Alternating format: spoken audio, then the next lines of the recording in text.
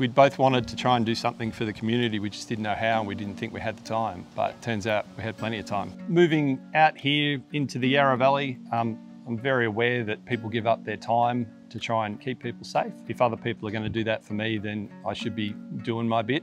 We both don't have a whole lot of time, like um, outside of the CFA, I'm a member of three other committees. I try and compete on my horse as well, and I also work full time. It fits in, and you know, CFA always say that it's family first, work second, and then CFA. There's plenty of time after hours and weekends where, where people need help.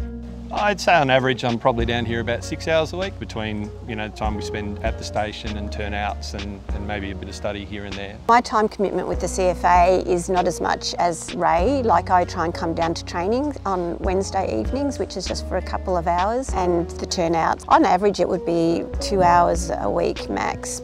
I think the weekly commitment is, is certainly not onerous even with a busy lifestyle and with everything else that we do a real sense of community. We've got to know the locals quite well. We enjoy contributing our time and helping out the community and, and it really is like a big family. Gruyere feels like our family now. I think we've got more out of CFA than we put in, to be honest.